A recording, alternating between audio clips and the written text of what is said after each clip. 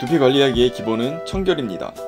병원에서 시행하고 있는 두피 치료는 두피 염증이나 호르몬과 관련된 부분을 직접적으로 해결하는 반면 두피 관리는 두피의 환경을 개선하여 모발의 성장, 피부 노화 방지, 윤모의 기능을 상승시켜주는 역할을 합니다.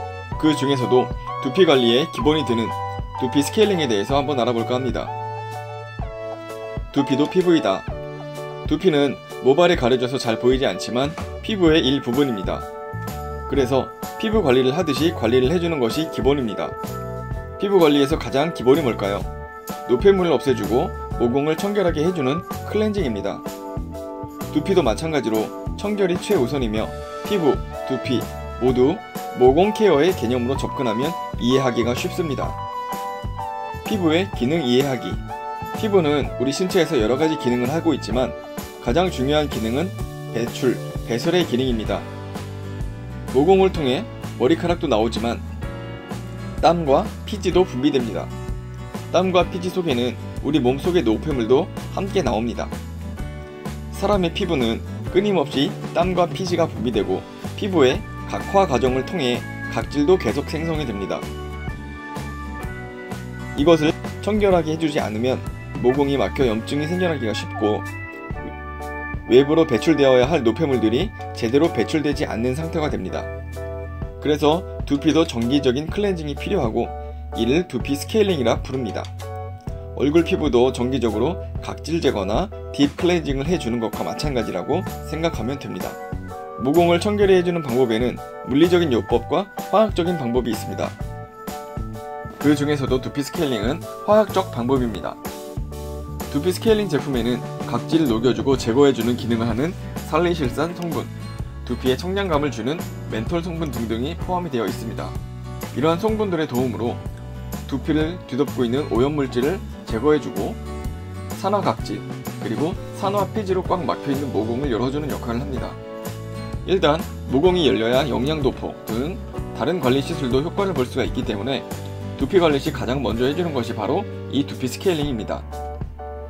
금속의 녹을 제거해주는 것, 그리고 치아의 치석을 제거해주는 것과 비슷하다고 생각하시면 됩니다.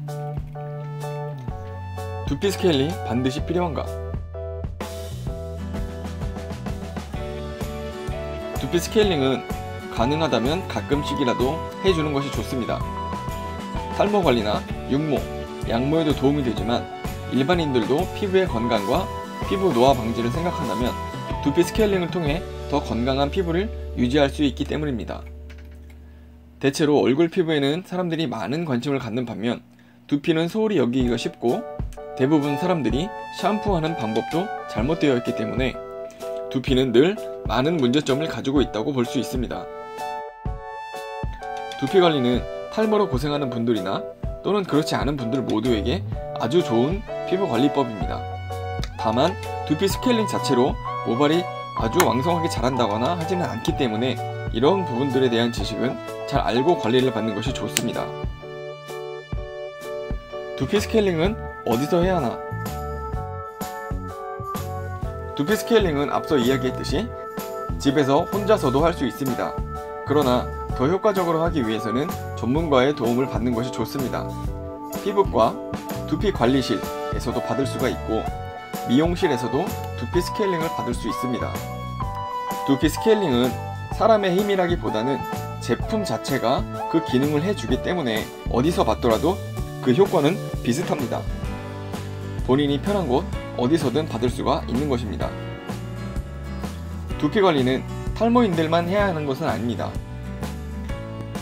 꾸준한 두피 관리를 통해 건강한 두피를 만들 수 있고 이를 통해 피부를 더 건강하게 유지해 줄 수 있습니다.